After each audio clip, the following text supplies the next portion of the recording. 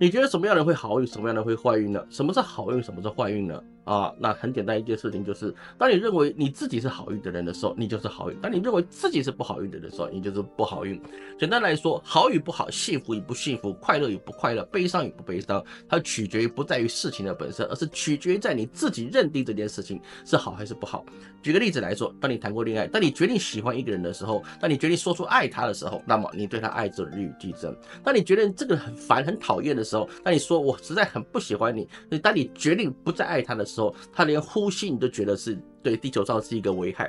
所以说，好运跟不好运，幸福与不幸福，愉快与不愉快，它并不取决于你遭受到的事情，因为很多事情遭受到你自己身上的时候，是你主观的去决定这件事情对你好或是不好。当你决定这件事好的时候，那它对你永远是好的。简单一句话，塞翁失马焉知非福？你看到丢失的，还是看到你得到的？很多事情啊，取决于在你自己心态如何。所以，观自在，行深般若波罗蜜多时，照见五蕴皆空，度一切苦厄。苦在哪里？恶在哪里？就在你的心里。我是陈老师，我们下次见。Nice。